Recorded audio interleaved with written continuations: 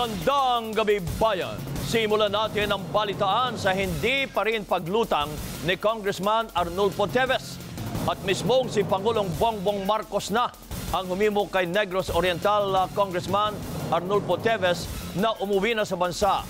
Ayon po sa Pangulo, wala namang intelligence report na iniugnay sa banta umano sa buhay ng mambabatas. Naon na lang nanawagan si Teves na maging patas ang mga nag-iimbestiga sa pagpatay kay Negros Oriental, Governor Ruel de Gamo. Nagpapatrol, Vivian Gulia. Sorry. Nagsorry si Negros Oriental 3rd District Representative Arnolfo Arnie Teves Jr. kay House Speaker Martin Romualdez sa patuloy niyang pagliban sa Kamara kahit pa sinabihan na siya nitong umuwi na sa Pilipinas. Sa video na inilabas sa Facebook page ni Teves kagabi, sinabi niyang gusto na rin niyang bumalik sa bansa pero hindi pa magawa dahil sa seryosong banta sa kanyang buhay. Lalo pa aniya at nauna ng binawi ng PNP ang lisensya ng baril niya at tinanggal ang ilang police escort.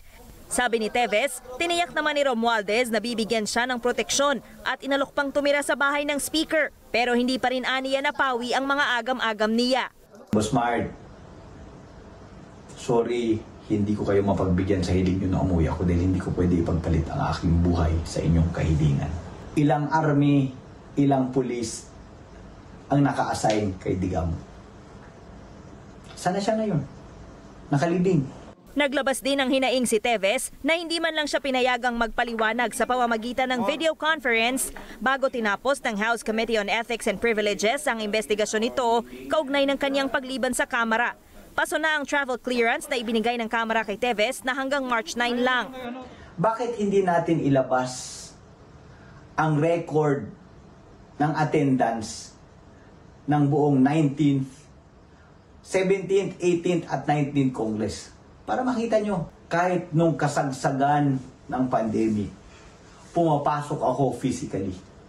Tatanong ko sa Committee on Ethics, bakit si Congressman Arnie Teves lang ang inyong kini-question ang attendance? Umapela rin si Teves sa mga nag-iimbestiga sa pagkamatay ni Negros Oriental Governor Roel de Gamo na maging patas. Naniniwala si Teves na biktima rin siya ng mga pangyayari matapos madawit. Ang pinagtataka ko rin, bakit ako tinatarget bago pa man yung killing, sabay nadagdag pa yung killing sa Negros Oriental. Ang ibang naririnig, naririnig ko lang naman na anggulo is yung sa isabong. May pasaring din si Teves kay Interior Secretary Benhur Abalos. kahit narinig ko na siya daw ang may may pakana na kansilahin yung dokumento ng baril ko. Still, nag-reach out ako na peace na. Baka nagalit siya nung ipinagtanggol ko ang pinaresign ng mga pulis. Giit naman ni Abalos na head ng Special Task Force de Gamo, transparent at naaayon sa batas ang isinasagawa nilang investigasyon. May mensahe rin siya kay Teves. Please, uh, wag na nating lituhin ang issue. May mga namatay rito. Importante makamta natin ang hustisya. Kanina mismong si Pangulong Ferdinand Marcos Jr. na ang humimo kay Teves na umuwi na sa bansa. The best intelligence we have is that we are not, we don't know of any threat. Saan manggagaling yung threat? So, but anyway, uh, if to reassure him, sabi, we'll provide all kinds of security kung anong gusto mo. May mayaman ka naman, may private jet ka naman eh. Maglanding ka kung saan mo gusto, papaligay sa isang army, may, sa Air Force Base. O, maglanding sa Sabasa. Tira natin ng sundalo, wala makalapit ng isang kilometro. Eh, Habang tumatagal ito, mas nagiging mahirap ang sitwasyon mo. So, mas maaga kang makauwi, mas marami pang opsyon ang uh, mapangyayari. Pero pagka masyado ng late, wala na, mapipilitan ng gobyerno, we will have to move the we will have to move without any discussions with him. Nilinaw din ni Marcos na hindi isabong ang punot dulo ng issue. Ang punot dulo nito ay isa po. Apo, sabi po niya. Hindi, ang punot dulo nito ay pagkapas lang kay ng Governor Degamo. Tugon ni Teves, hindi sa kinukontra niya ang Pangulo. Pero baka hindi nakarating dito ang umano'y banta sa kanyang buhay. Kung kayo na ang humiling na umuwi ako, mas mahihirapan ako humindi dahil mas may authority kayo makabigay ng proteksyon sa akin. Tungkol sa murder, wala namang problema, as I said, na isama ako sa mga iniimbestigahan. Ang request ko lang sana, sir, wag naman sanang ako lang. Dapat lahat ng anggulo tingnan. Ang nangyari kasi ngayon, Mr. President, pagkatapos pa lang ng murder, ako na kaagad ang tinumbok. Hiling ng kongresista, makausap sana niya ang Pangulo para maipaliwanag niya ang kanyang panig. Vivian Gulia, ABS-CBN News. Nagka-enkwentro ang mga miyembro ng militar at ng New People's Army sa bayan ng Placer, Masbate ngayong Miyerkules ng umaga. Nangyari ang enkwentro malapit sa Loksoan Elementary School sa Barangay Loksoan. Sa video, kitang nagsipagtakbuhan at nagtago ang mga mag-aaral nang marinig ang mga sunod-sunod na putok at pagsabog. Ayon sa isang guro, bagamat walang naiulat na nasaktan o nasugatan, ramdam pa rin umano nila ang takot dahil sa insidente. Inutos na umano ng DepEd Region 5 ang suspensyon muna sa face-to-face classes sa naturang paaralan. Ayon po naman sa Placer PNP, dalawang miyembro ng Philippine Army ang nasugatan sa pangyayari. Kasalukuyan din ang sinasagawang follow-up operation at ito na po ang ikalawang insidente ng sagupaan ng militar at ng rebeldeng grupo sa Masbate. Kahapon ay naiulat din ang enkwentro malapit din sa isang eskwelahan sa bayan po naman ng Kawayan. Nagka-UP-UP at nagka-bitak-bitak ang tangke ng lumubog na MT Princess Empress kung saan tumatagas ang karga nitong industrial fuel. Iba't ibang paraan ang kinukonsidera ngayon ng mga otoridad para mapahinto ang pagtagas ng langis. Nagpapatrol, Dennis Dato. Matindi ang pinsala na sinapit ng lumubog na MT Princess Empress. Ito ang nakita ng Remotely Operated Vehicle o ROV na sumisid sa kinaroroonan ng oil tanker sa ilalim ng dagat ng Pola Oriental, Mindoro. Sa ginawang pagsusuri sa mga kuwang larawan at video, may nakitang 23 bitak sa walong tangke na naglalaman ng higit 800,000 litro ng industrial fuel.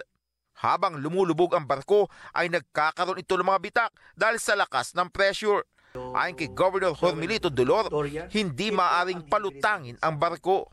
Pag-angat ng barko, because of the pressure, the boat, the, the vessel might, uh, might, ang tawag nito, yeah, it, it's a disaster. It, it might break.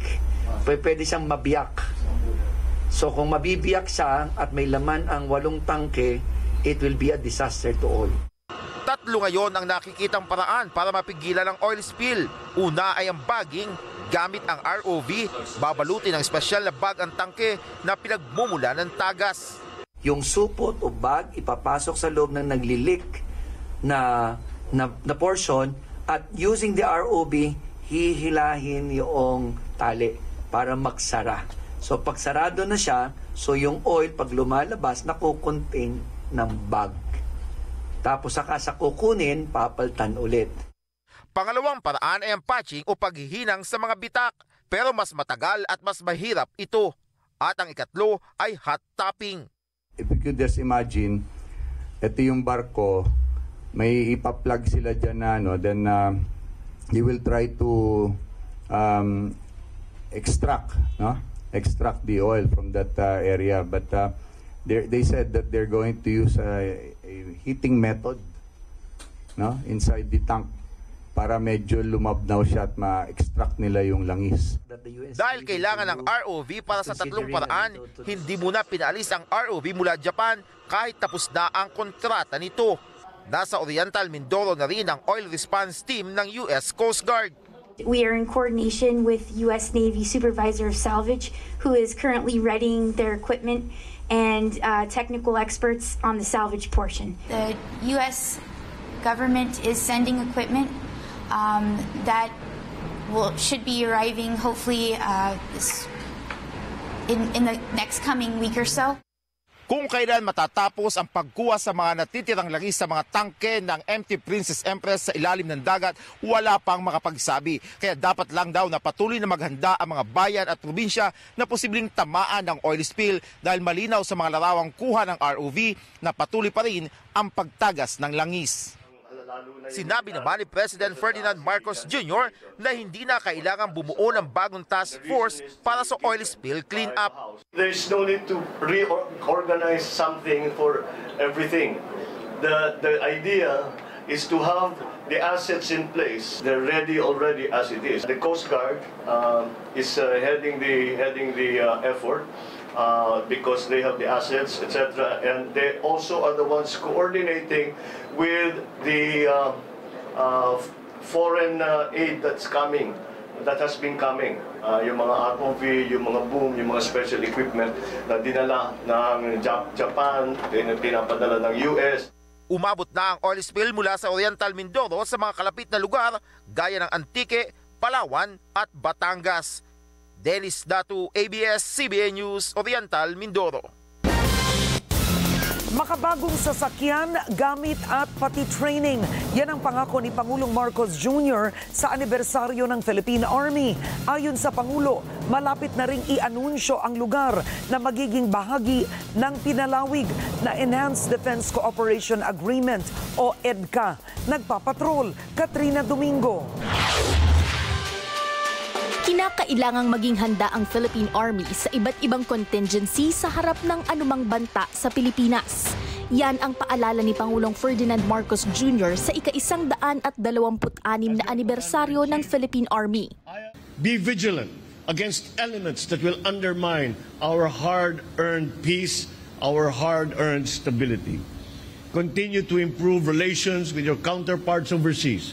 Common security challenges necessitate a more concerted approach among like-minded nations. Share information, learn from the best practices in the region to make our military better. Kaya pangako ni Marcos sa hukbong katihan ng Pilipinas ang patuloy na pag-upgrade ng kanilang mga sasakyan at kagamitan at maging ang modernong training program. As your Commander-in-Chief, I am assuring you that we remain committed to modernizing the armed forces so no threat will be impossible to handle. We will continue to invest not only in modern equipment and material, but also in your training so you can keep abreast of concepts, doctrines, strategies that we now need in the modern battlefield. Dagdag ng Pangulo, maglalaan ang gobyerno ng isang libong pabahay para sa mga sundalo at pulis. We found an, uh, a property uh, in Cavite uh, that we find is suitable to begin a housing program not only for the military but also for the PNP. Hindi naman problema yung pagpatayo kung hindi ang papano ang magiging financing scheme. Uh, kasi iba naman ang sitwasyon. For example, uh, the military, uh, how do we handle the transfer of uh, paglilipat sila sa ibang lugar? What can they do? Bahagi rin ng pagpapalakas ng Philippine Army at ng iba pang sangay ng hukbong sandatahan ng bansa ang pagbibigay ng akses sa mga tropang Amerikano sa apat na karagdagang base militar sa bansa. Ayon sa Pangulo, malapit nang i-anunsyo ng pamahalaan kung saan ang lokasyon ng mga naturang lugar na napapaloob sa pinalawig na Enhanced Defense Cooperation Agreement o EDCA. Iba-iba talaga. Meron ding element that is uh, there because of our uh, continental shelf, which is on the eastern side of the of, of Luzon. So uh, that, that's something also that we have to look out for. Uh, we'll make a formal announcement, but yes, they have been identified, and we can already. Uh, uh, we will be, be, before before I announce it, we will formalize it with our partners, uh, United in the uh, United States, uh, to uh, so that sabay-sabay naman ang ano, hindi natin i-preempt. Dagdag ng Pangulo, nakausap na ng gobyerno ang mga opisyal ng mga local government units na may agam-agam ukol sa pagpasok ng mga sundalong Amerikano sa kanika nilang mga bayan dahil sa naturang polisiya. We explained to them why it was important that we have that and why it will actually be good for their province. And mukha namang na mukha namang naintindihan nila because those who had uh, interposed some objections are really right now naintindihan naman nila and they come come around to uh, to uh, support. Bukod sa mga naturang plano at polisiya para sa Philippine Army, pinarangalan din ni Pangulong Marcos ang labing apat na miyembro ng Philippine Army para sa kanilang naging serbisyo at sakripisyo para mapanatili ang kapayapaan sa bansa. Katrina Domingo, ABS-CBN News. Dalawang magkasunod na araw nang may nasabat na droga na tinangkang ipuslit papasok sa Pilipinas. Hinala ng Philippine Drug Enforcement Agency o PDEA, ginagamit pa rin ng mga sindikato ang bansa bilang transshipment point ng illegal drugs. Tiniyak din ng ahensya na hindi nire-recycle ang mga nakukumpiska nilang droga. Nagpapatrol, Rafi Santos. Nito lang lunes, nakumpiska ng mga otoridad ang aabot sa 60 kilo ng hinihinalang shabu sa isang warehouse sa Pasay City. Galing umano sa bansang Guinea sa Africa ang kontrabando na tinatayang nagkakahalaga ng 400 million pesos. Hawak na ng mga otoridad ang dalawang Pilipinong sospek na kukuha sana sa package.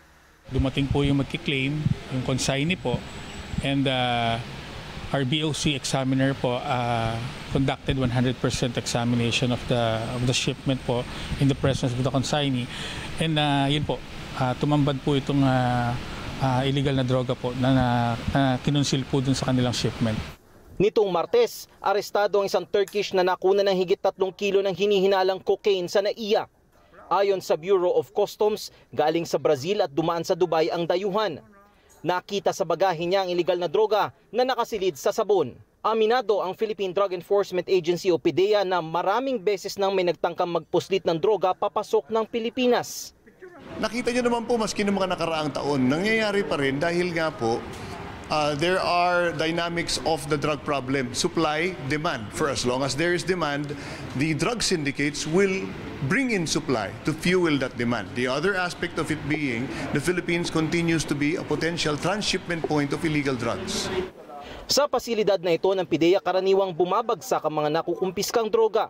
Bantay sarado hindi lang ng armadong gwardya ang silid na ito, kundi ng mga CCTV, double walling, biometric scanners at tatlong magkakaibang kandado na pawang mga otorisadong kawani lamang ng PIDEA ang maaring magbukas. Sa ngayon, higit kumulang dalawang tonelada ng kumpiskadong droga ang nakaimbak sa pasilidad na ito habang inaantay ang utos ng korte para sirain ang mga ito. Definitely walang recycle. Kita nyo naman, di ba? Matatanda ang kamakailan lamang ay namin ni PIDEA Director General Moro Virgilio Lazo na may mga asset na nag-aalok ng matatrabahong operasyon laban sa iligal na droga kapalit ng 30% na makukumpiskang droga. Pero tinanggihan niya ito. Git panahin siya, maigpit nilang pinagbabawal ang ganitong kalakaran. Wala pong ibang reward na ibibigay ang PIDEA kung hindi ang uh, authorized monetary rewards provided under law through Operation Private Eye for our civilian informants and Operation Lawmen for outstanding uh, accomplishments by law enforcement units in the anti-drug campaign. Base sa datos ng PIDEA mula taong 2022 hanggang March 17, 2023, higit kumulang 46.63 billion pesos na halaga ng iligal na droga ang kanilang sinunog alinsunod sa utos ng korte. Rafi Santos, ABS-CBN News.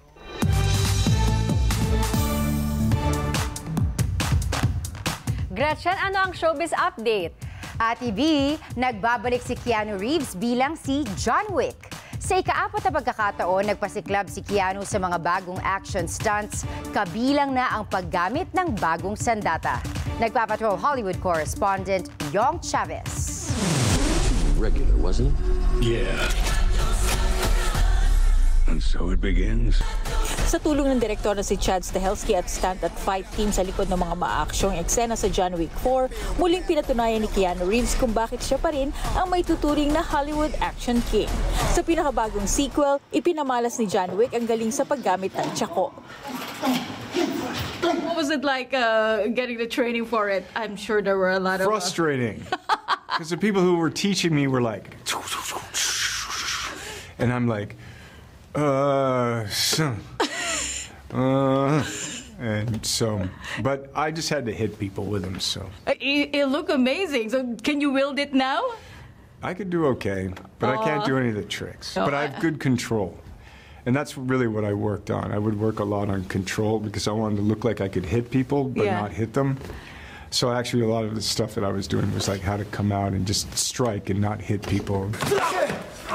Naging matindi ang pinagdaan ng training ng aktor para sa exciting na action at fight sequences na siyang pinakaaabangan ng mga tagahanga ng pelikula. We shoot for a long time. You know, I shot over 100 days, and I might be doing action sequences for 65 of them, you know, 70 of them. So, but, you know, they're fun. You want to go along for the ride, you know, you want to be emotionally invested in the characters, but you also want to have fun. And I think John Wick action is fun. You're just like, what is going on? Sa apat na John Wick films, maliban sa aksyon, tampok din ang tema ng pag-ibig na siyang dahilan ng pakikipaglaban ng karakter. At the end of the day, what he is is a loving husband. Mm. How did that resonate with you? Oh, yeah, it's one of my favorite things about Mhm. playing the role. You know, it's so nice.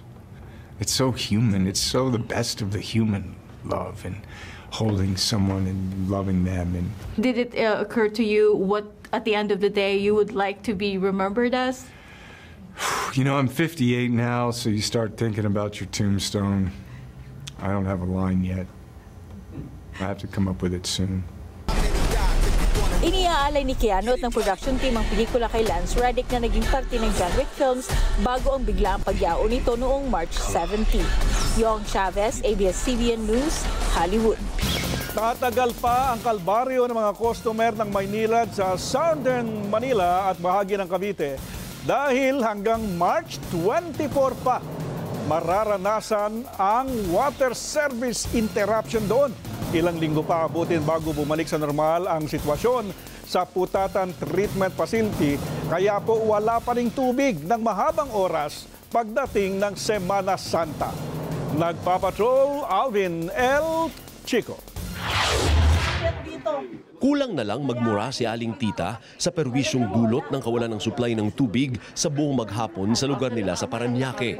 Gising sila sa madaling araw para mag-ipon ng tubig mula alauna hanggang alas 5. Alauna, biruin mo naman, ilang gabi na kami puyat. Kahapon nga, akala ko imatahin na ako sa, sa hilo eh. Disyembre pa raw ganito ang sitwasyon nila. Ngayon, extended pa hanggang March 24 dahil sa paglabo ng tubig galing Laguna Lake. Pero hindi lang mga ordinary households o kabahayan ang apektado ng water interruption ng Maynilad sa puldi ng mga maliliit na negosyo kagaya ng mga restaurants, laundry shops, car wash at water refilling stations. Ang bagong negosyo ni Mang Loreto, lugi na ngayong buwan dahil sa serye ng water interruption.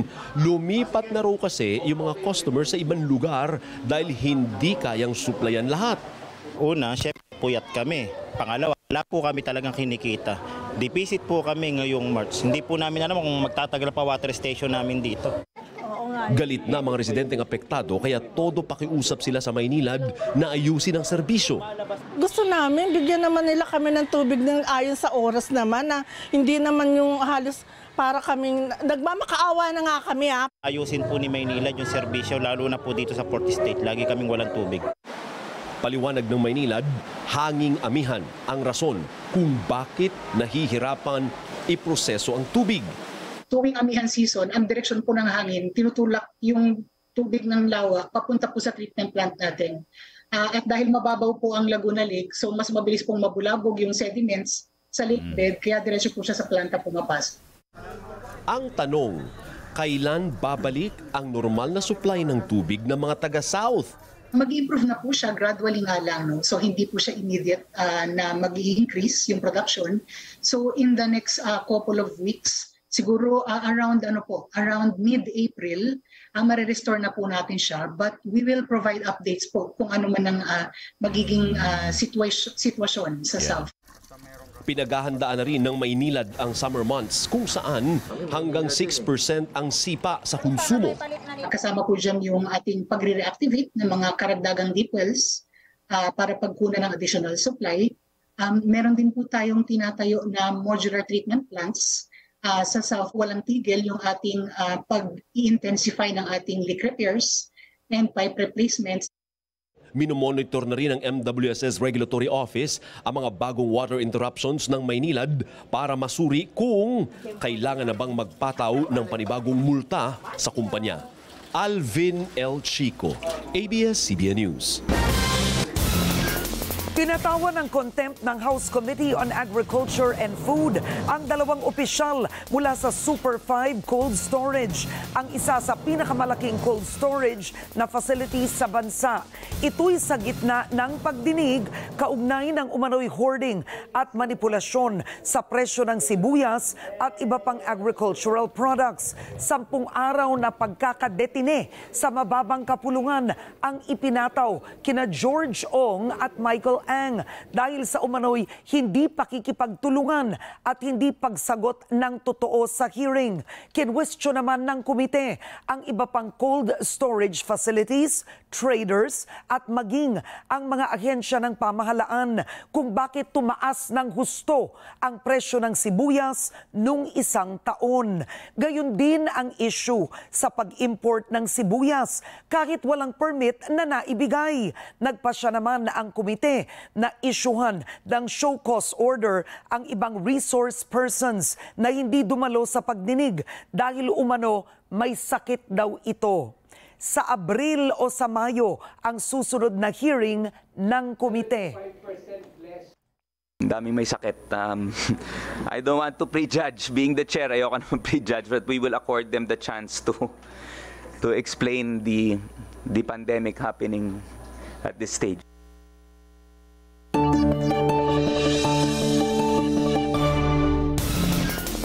Alamin natin ang magiging lagay ng panahon mula kay ABS-CBN resident meteorologist Ariel Rojas. Ariel, bakit sobra na ang init kanina?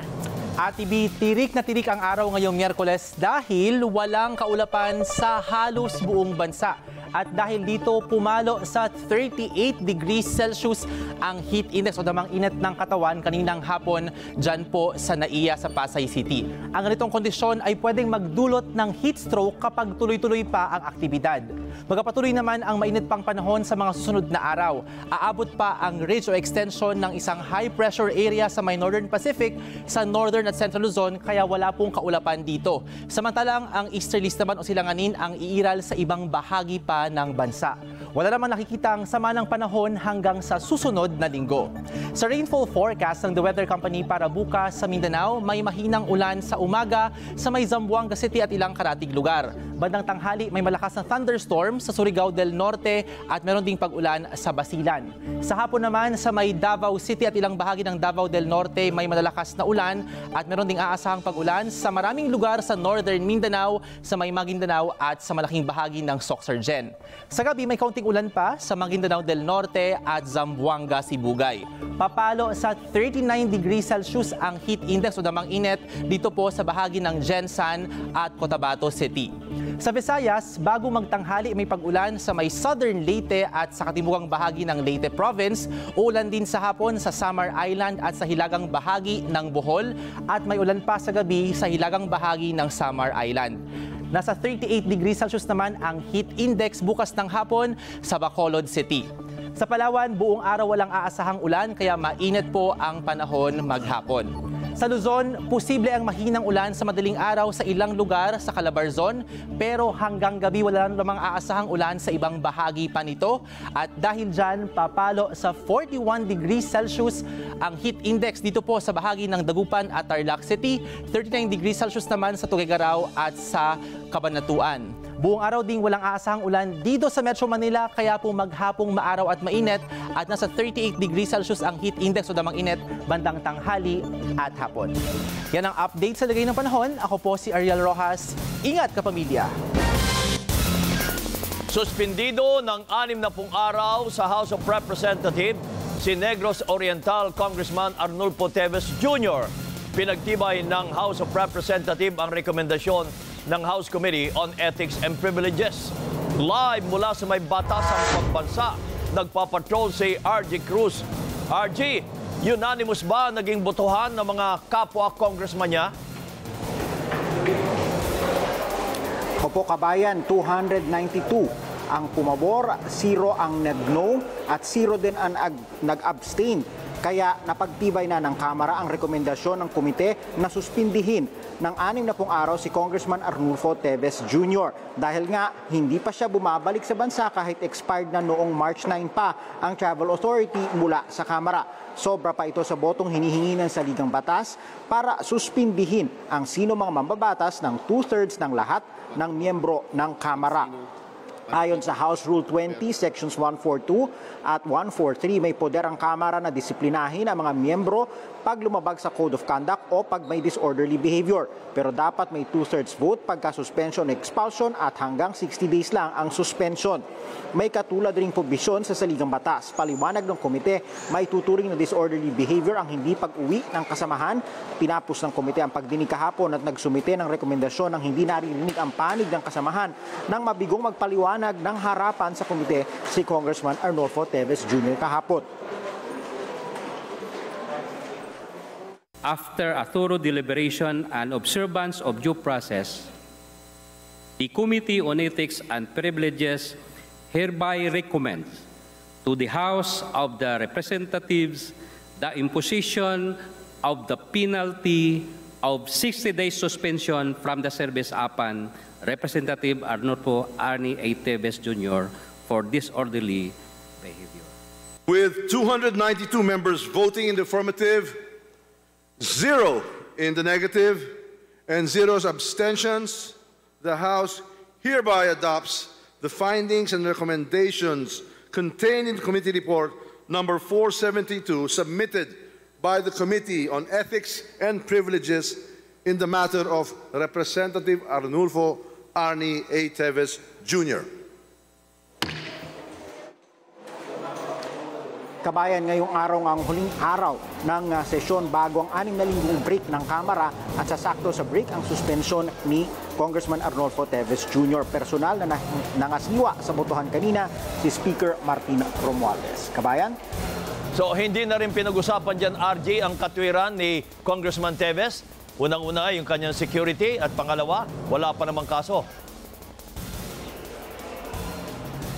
Kabayan, sumentro lang talaga ang investigasyon ng Ethics and Privileges Committee doon sa hindi niya pag-uwi. Wala silang ibang pinag-usapan tungkol doon sa kanyang, ah, kung ano man yung kanyang kinakaharap ah, ngayon sa labas ng Kamara.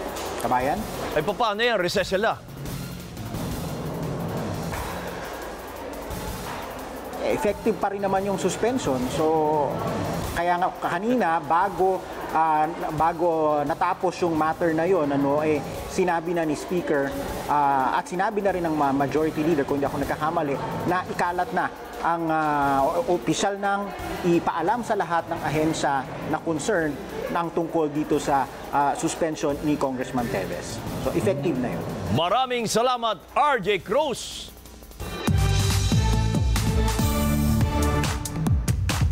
Good news sa mga fans at Hollywood idol na Phil-Am na si Vanessa Hudgens. Darating siya sa Pilipinas para mag-shoot ng documentary, Tampok ang Tradisyon at Kulturang Pinoy. Rumaan pa naman ang mga binibining Pilipinas 2023 candidates para sa Swimwear Pictorial. Nagpapatrol, Mario Dumawal. Itatampok ni Vanessa Hudgens ang kanyang Pinoy heritage sa isang film documentary na isang linggong isushoot sa Palawan at Maynila ngayong Marso. Ito'y ayon sa kanyang tagapagsalita na si Joyce Ramirez na hinahanda na ang pagsalubong kay Hudgens sa March 25. First time na bibisita sa Pilipinas si Vanessa na anak ng Filipina immigrant na si Gina Guangco.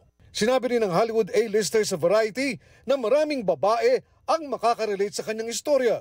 Wala pang titulo ang project sa direksyon ni Paul Soriano na ikinagalak ang kolaborasyon niya kay Hudgens.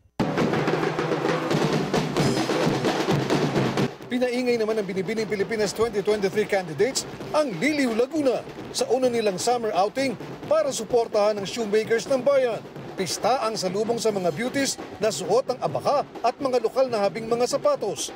Imbes na nakagawian ng matataas na heels. It's a breath of fresh air to wear a locally made, di ba? So, ibang klase, lalo na kapag, lalo na lalo na from Laguna ako, so iba yung feeling. Binigyan din ng inspirasyon ni Miss Universe 2018 Catriona Gray ang beauty sa kanyang video greet. So enjoy your tour and I hope that you fall in love with their designs and their story just as much as I did. Sa unang pagkakataon, ipinasilip din ang all-white swimwear pictorial na mga binibini, tampok ang mga perlas. Ayon sa designer na si Justin Aliman, hango ito sa fearless na konsepto ng mga babaeng nagtagumpay sa palakasan tulad ni Heidelin Diaz. We're very inclined to environment today, especially with our footwear, with Aishi. It's very sustainable. And with the pearls yesterday, it's very pure and very Filipina. We're like escaping through the wild jungle. Itatakda ang koronasyon ng Binibining Pilipinas 2023 sa Mayo. Mario Dumawal, ABS-CBN News. Umarangkada na ang preliminary investigation ng Department of Justice sa reklamong isinampa ng PNP-CIDG laban kay Negros Oriental 3rd District Representative Arnolfo Teves Jr. kaugnay ng mga nakumpiskang baril at pampasabog sa bahay nito sa Bayawan City, Negros Oriental. Pinayuhan naman ni Justice Secretary Boying Remulla na umuwi na si Teves at harapin ang mga reklamo laban sa kanya. Nagpapatrol, Johnson Manabat. It's a lot of drama, no? Uh, umuwi na lang siya kung meron siyang pag-aalinlangan. She just go home. Uh, tama na yung arte. Itong naging tugon ni Justice Secretary Jesus Crispin Boying Rimulya nang mahinga ng reaksyon sa naging text message sa kanya ni Negros Oriental 3rd District Representative Arnolfo Teves Jr. Sabi ng kalihim, walang saysay ang mga pahayag ni Teves sa social media at mas makabubuting lumutang na ito at sagutin ang mga akusasyon laban sa kanya. Hindi ako sumasagot eh. Kasi alam mo naman, maraming ano to eh. Iba siya mag-isip eh. Uh, umuwi na lang siya. Let's talk over official channels. Uh, if he wants to back channel, speakerphone niya kami ni Speaker Martin. Pwede niya kami kausapin. Kaninang umaga, sinimulan na ng DOJ ang preliminary investigation sa reklamong illegal possession of firearms and explosives na isinampa ng PNP-CIDG laban kay Congressman Teves. Kaugnay ito ng isinagawang raid ng mga otoridad sa bahay ni Teves sa Bayawan City, Negros Oriental noong March 10 kung saan nakuha ang iba't ibang uri ng baril at pampasabog. Sabi ng abogado ni Teves na si Attorney Ferdinand Topacio, noong isang linggo lang nila nakuha ang sabina kaya wala pa rin silang nakahandang counter affidavit. Pero ngayon pa lang, kinukwestiyon na nila ang ginawang raid sa bahay ng kongresista. Even assuming na a valid yung warrant, Ah, ang contention po namin na pinapaulit-ulit naman po namin are ah, the evidence ah, were planted. Kasi ah, December 28, 2022 pa, pinost na ni Congressman Tevez sa kanyang Facebook account ang kanyang reklamo na may nakuha siyang impormasyon na re-raid din ang kanyang mga tahanan at lalagyan ng ah, ebidensya in order to frame him up. Marami po tayong uh, na-recover na mga baril dyan, mga more or less mga 17 po na mga firearms at explosives. At itong mga kaso po na ito ay uh, lima na po yung uh, information na naisampa po ng uh, DOJ. Binigyan naman ng DOJ ang PNP-CIDG ng hanggang March 29 para magsumite ng karagdagang ebidensya at matapos ito'y inaasahan ng paghahain ng counter affidavit ng kampo ni Teves. Samantala, kasabay ng preliminary investigation, dumating sa DOJ ang ilang alkalde ng Negros Oriental kasama ang byuda ni Governor Roel Digamo na si Mayor Janice Digamo. Sabi ni Secretary Remulla, masaya ang byuda ni Digamo sa takbo ng investigasyon sa kaso ng pamamaslang sa gobernador. Johnson Manabat, ABS-CBN News. Nagbabala si Chief Presidential Legal Counsel Juan Ponce Enrile sa mga mambabatas na huwag itulak ang charter change gamit ang Constitutional Convention.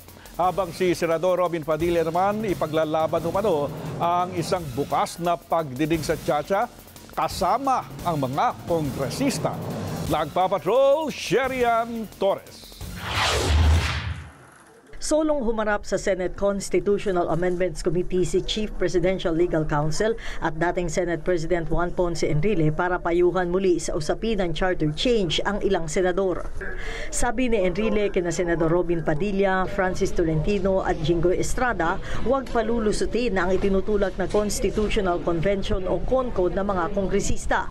Bukod kasi sa pwede naman umanong idaan sa Constituent Assembly ang paglalagay ng mga salitang unless otherwise provided by law sa economic provisions ng 1987 Constitution, magastos ang CONCON. To do a con-con instead of a con-apps will be a disservice to the people of this country. It will burden the taxpayers too much. To have a con-con will entail billions of pesos to do the work that can be done simply by Congress through a constituent assembly form. Halos ganito rin ang punto ni Senador Tolentino. There is a fourth way. The fourth way is just pass an ordinary bill and then submit it for ratification by the people. Is that a, a- an appropriate way of uh, interpreting the bicameralism mode? Kahit federalismo gate ni Enrile, hindi pwede dahil bukod sa komplikado ang sistema, pang mayayamang bansa lang umano ito. Samantala, naniniwala rin si Enrile na dapat nang ilagay sa konstitusyon ang pagpayag sa paggamit ng nuclear weapon. In the modern world today, a small country can protect itself against the superpowers if they have nuclear weapons. We should remove that res- restriction and make the country flexible. If we can afford it, we should also have nuclear weapons so that our people will not be trampled upon, let alone made a tuta or alipin of other countries. Nandun na tayo sa nuclear age. Huwag natin i-deny yun. Talagang nandito tayo sa panahon na yun. At ah, yan naman eh, dadaan pa naman yan sa masusing pag-aaral ng, ng, ah, ng Kongreso. I have to bow to the wisdom of the Senate, of the former Senate President. Eh, siya yung, eh, biro mo, naging Secretary of National Defense siya. Siyempre makikinig tayo sa kanya.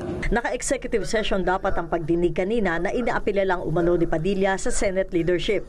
Pero sabi ni Padilla, pipilitin niyang makaharap sa isang public hearing si Congressman Rufus Rodriguez at mga kasama nito.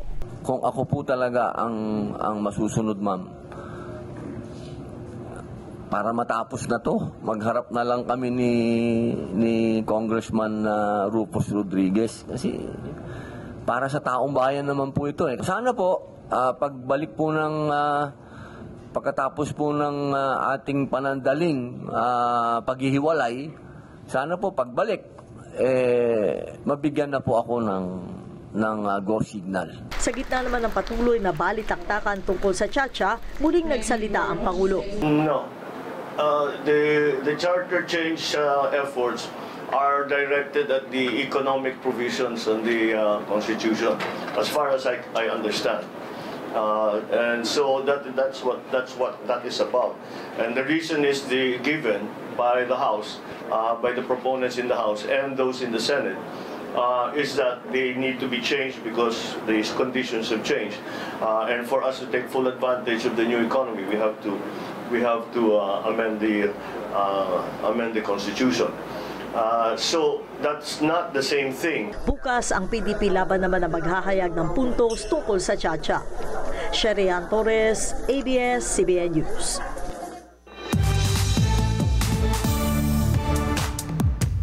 Masusubukan ang bagong tambalan ni Kira Ballinger at L.A. Santos sa pelikula Tampok ang Buhay ng Mga Pinoy sa Canada. Samantala si Coco Martin naman, kinabahan daw sa shoot ng pelikulang Apag na official entry sa Summer Metro Manila Film Festival. Kung bakit, alamin sa pagpapatrol ni MJ Felipe. Ladies and gentlemen, the one and only Mr. Coco Martin! Check na check ang saya ni Coco Martin nang dumalo sa isang event ng branded generic pharma company. Selebrasyon ito ng misyon ni Coco na magkaroon ng access sa murang gamot ang publiko. Bukod dito, masaya ang primetime king sa tagumpay ng Batang Quiapo. Gamay na umano ni Charo Santos ang kanyang estilo ng pagdidirect. Eh, Kasi nga wala akong script, 'di ba? Talaga doon siya on the spot ginagawa yung mga lines. And ngayon, na-absorb niya na na, ano niya na. Nagamay na niya. Nagamay niya na. Tapos ngayon baliktad. Pag nasa ibang unit siya, nahihirapan siya pag may script.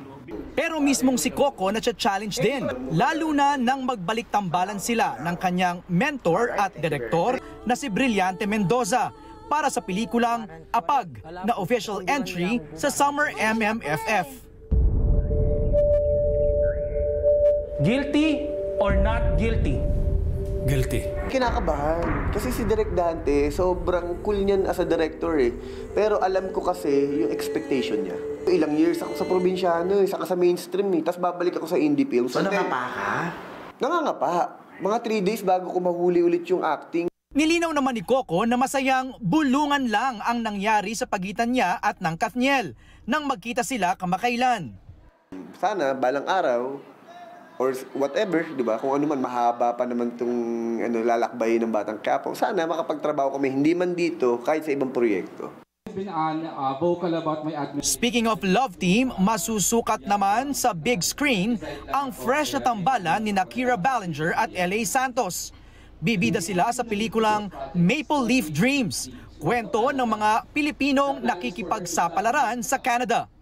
From Ang Sayo Ay Akin to Darna and now to this. So I'm sobrang happy po ako na I get to work with someone na may tiwala ako. Honestly, if I may say, you're my boy version. He's my boy version. Sobra. may mga ano... Nabahan ako ng konti, kala ko he's my boyfriend. Ay, no. Malapit na, no? Just yung... ah. ano ba? ha? Ano ba? Friend. Best friend. Best friends. Tsaka Yes. ever since naman uh, we got each other, ano, talagang sinasama na namin isa't isa, tsaka talagang nagtutulungan kami at Dalawang linggong magsushoot sa Canada sina LA at Kira simula ngayong Mayo. MJ Felipe, ABS-CBN News. Sampung suspect sa pagpatay kay Negros Oriental Governor Roel Degamo at walong iba pa ang nasa kustodyonan ng NBI. Ayon sa Special Task Force Degamo, lima hanggang anim na individual na sinasabing sangkot din sa krimen ang pinaghahanap pa. Nagpapatrol, Bianca Dava. Na-turnover na sa National Bureau of Investigation ang lima pang suspect sa pagpatay kay Negros Oriental Governor Roel Degamo at walo pang individual. Dahil dito, sampung suspect na ang hawak ng mga otoridad. Sa press conference ng Special Task Force Degamo kanina, sinabi ni Interior Secretary Benhur Abalos na siyam sa mga ito ay dating mga sundalo habang ang isa ay dating military trainee. These suspects have voluntarily offered relevant testimonies that will help the task force build a strong case against the perpetrators as well as the intermediaries and mastermind. Kinumpirma ng Armed Forces of the Philippines na dishonorably discharged mula sa serbisyo ang mga naarestong dating sundalo. They were dismissed from the service. May records kasi tayo. Some of them were even discharged uh, dishonorably as uh, mga 2008 pa nga yung iba.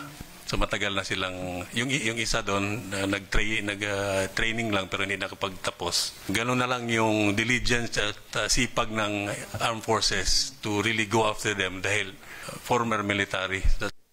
Ayon naman kay Justice Secretary Boying Remulla, siyam sa sampung suspect ang may direct participation o kabilang sa mga umatake kina Degamo noong Marso a 4. Pinaghahanap pa ang lima hanggang anim pang individual na pinaniniwala ang may kinalaman din sa pamamaslang. It's a very sophisticated operation that will not happen without the cooperation of many people. Kaya yun po ang kinakailangan namin pag-aralan pa. Kaya we have to piece together all the evidence. Hindi rin isinasantabi ng kalihim ang posibilidad na may tumulong sa mga suspect na magtago, lalo't ngayon lang sumuko ang iba sa kanila. Itong last, last batch, uh, they were able to extract, extricate themselves from the after the battle, after after the, after the operation, nakapag-safe house pa sila, na, nakapunta pa sila sa ibang lugar, ah, at doon sila kinausap pa sa ibang lugar. Kaya meron, merong tumulong sa kanila. Muli namang nanawagan ang may bahay ng napaslang na gobernador na si Pamplona Mayor Janice Degamo na magkaroon ng Senate investigation sa kaso. Gusto ko lang mag-thank you talaga. Nakikita namin yung effort ng lahat. And by so doing, uh, we are really hopeful that peace in Negros Oriental will return after we uncover the mastermind.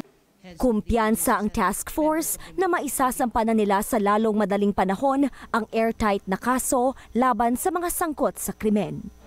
Bianca Dava, ABS-CBN News.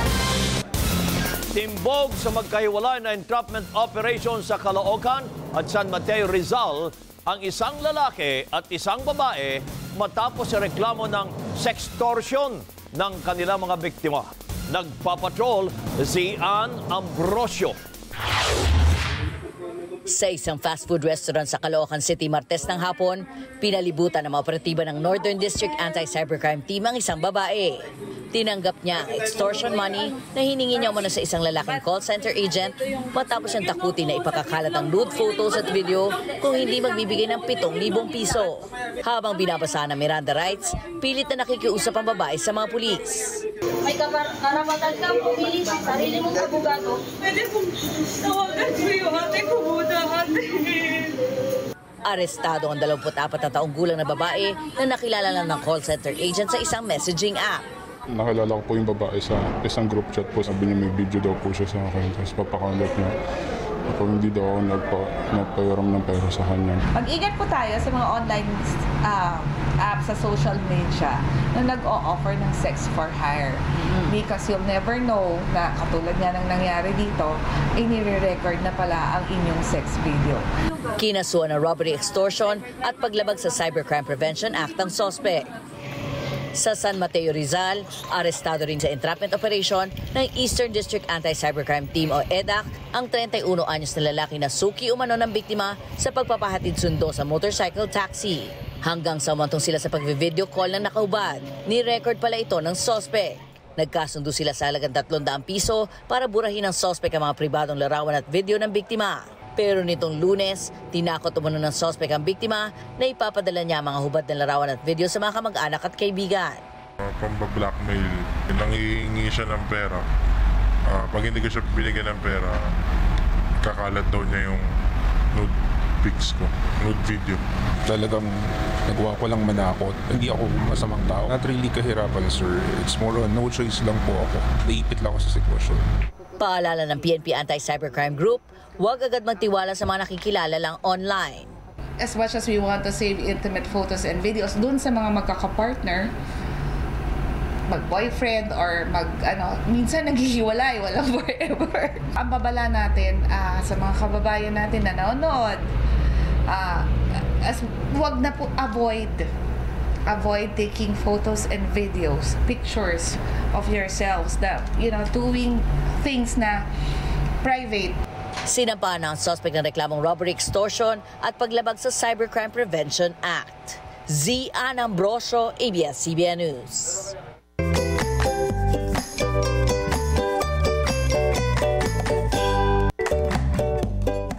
Ako, Tita Winnie, eh, paano naman yung mga gustong kumita ngayong tag-init?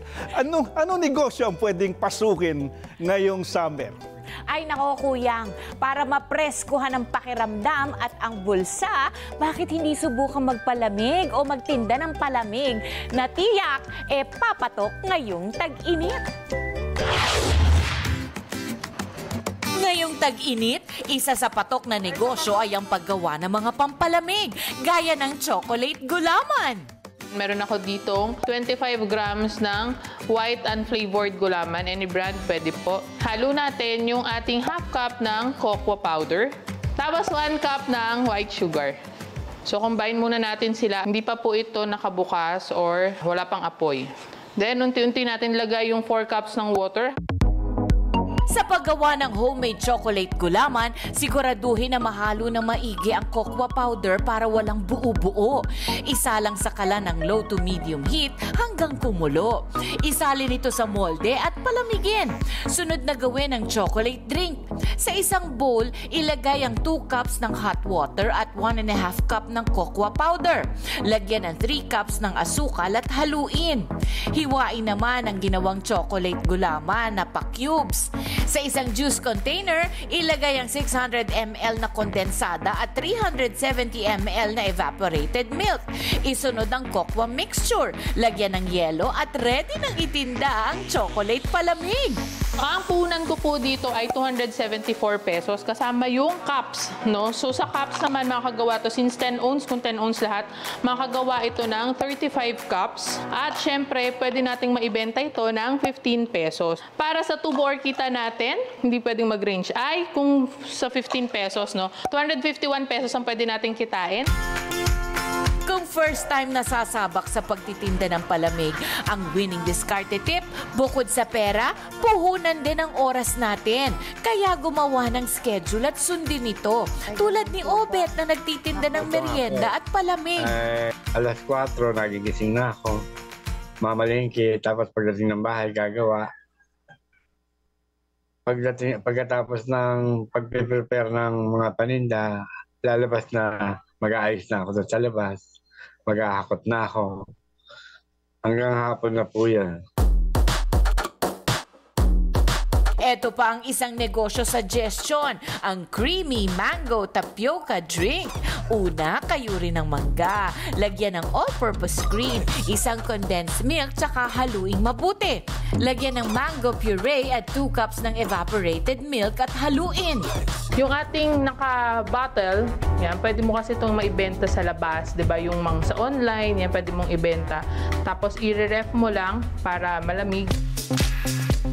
Magdagdag ng isa't kalahating litro ng tubig. Haluin at itabi. This is it! Ready to drink na at ready to benta! Ay, isa pang winning diskarte, pwede niyong bagu-baguhin ang flavor ng inyong palamig kada linggo o every two weeks. O di naman kaya mag-alok ng mas maraming flavor para may bagong susubukan ng inyong customer kada pupunta sa inyo. Ako po ang inyong tita Winnie Cordero. Tandaan, sa tamang diskarte, make every moment your winning moment. Maraming bata ang pinipiling kumain ng mas matatamis, maaalat at matatabang pagkain sa halip na mas matsustansyang gulay at prutas. Ayon po ito sa UNICEF. Ayon pa sa Department of Health, isa sa bawat sampung bata at adolescents ay overweight. Nagpapatrol, Rafael Bosano. Pitong taon na ang anak ni Riza pero ang timbang niya 10 kilo lang. Maituturing na malnourished ang bata lalo't hindi ito kumakain ng gulay at prutas. Bukod sa hindi ito hilig ng bata, may isa pang dahilan si Riza kung bakit hindi napapakain ng gulay ang anak. Minsan wala ring pera sa bulsa, kaya hindi ko rin may bigay din minsan yung ano, kulang. Minsan napapayak na lang kapag pag wala pong maibigay na ano. Yung... Ang epekto sa kalusugan ng sustansya, mabilis na napapansin ni Riza. Masamlay po sila pag kwan.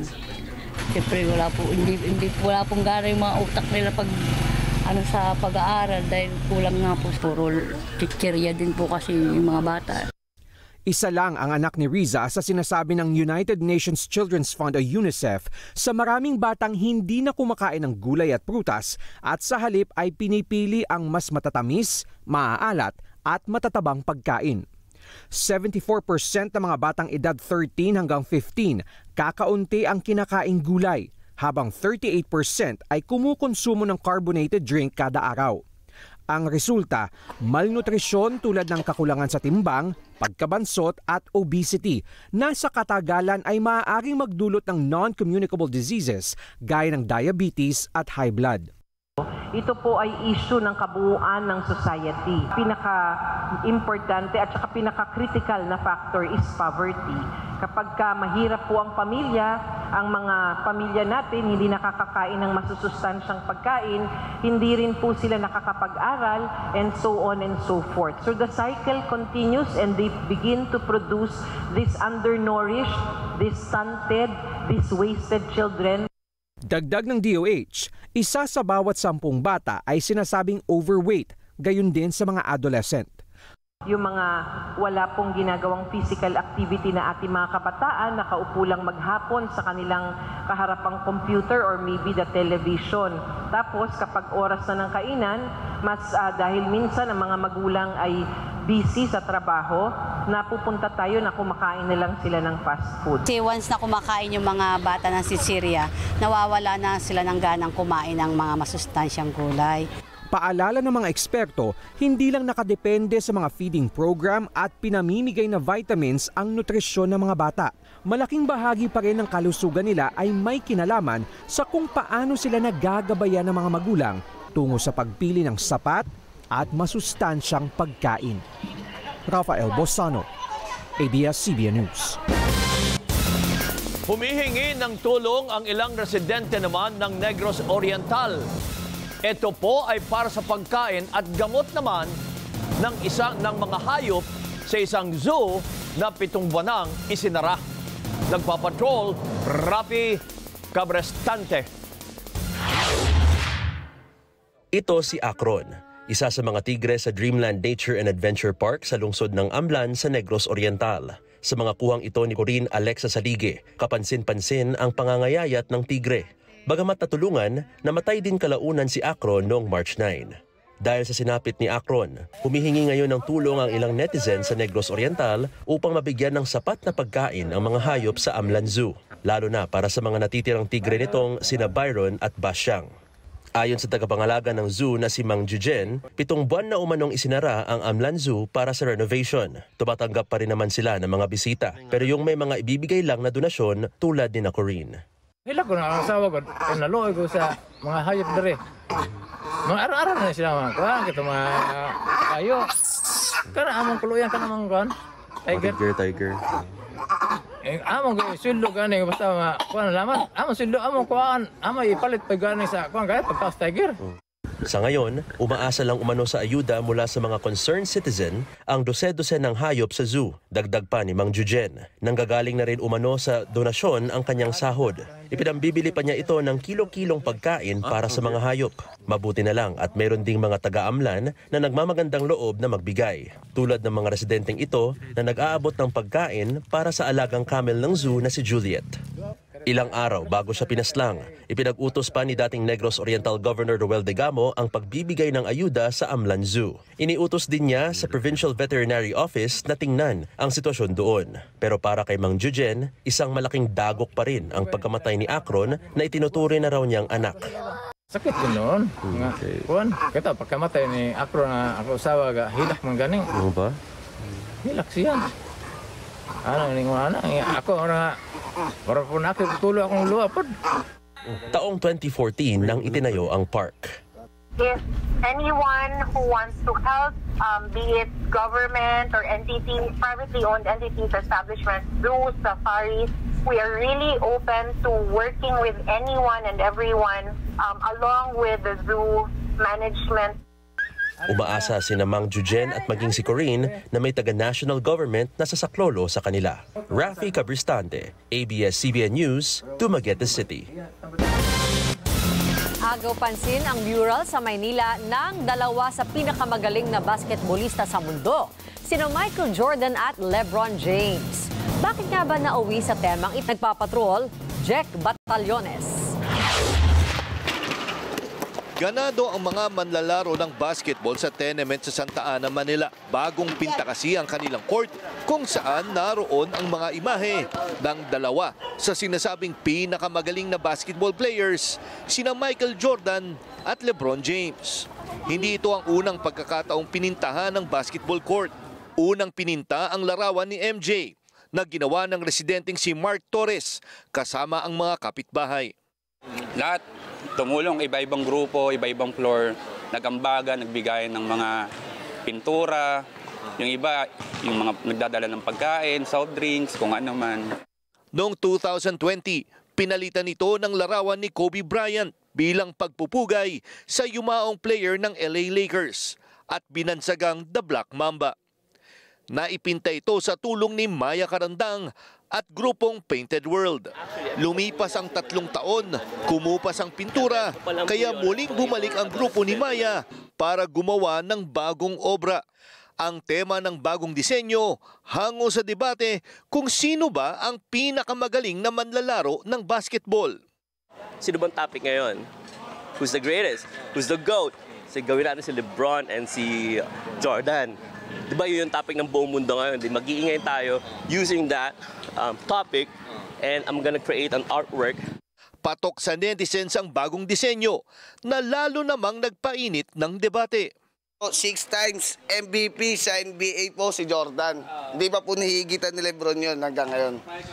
Di po kasi lumaas lang naman po yung Jordan team ng Chicago Bulls kasi po malakas po sila Scottie Pippen.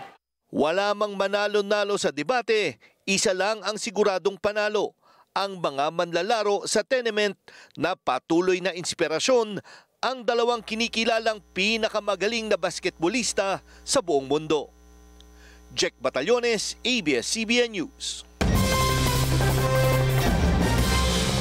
O sino pinakamagaling na basketball player? Sa akin, si Michael Jordan. Ako din, Michael Jordan. Jaworski. Hindi, okay lang yun. Galing, galing, Sa local, sa local. Sa local, oh. Local yun, si. Ikaw? oh, Sa local. Sa lokal? Jaworski na rin ako. Ito, oh, ito, Lebron. Are you Lebron or Jordan? Jordan, Jordan. Jordan. Oo. Bago nga eh, si Curry. Yan. Mm, para mas bata, ha? Oo. Steph Curry. Ikaw, ikaw. Panahon niya. Curry. Ikaw. Hindi ako mabasket.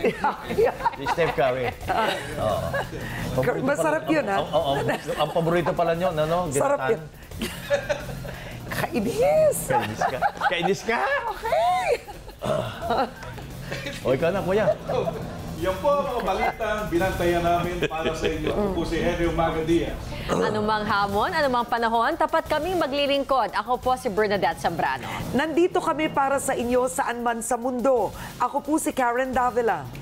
Ako po si Kabayang Noli Di Castro. Maraming salamat at magandang gabi. Bayan!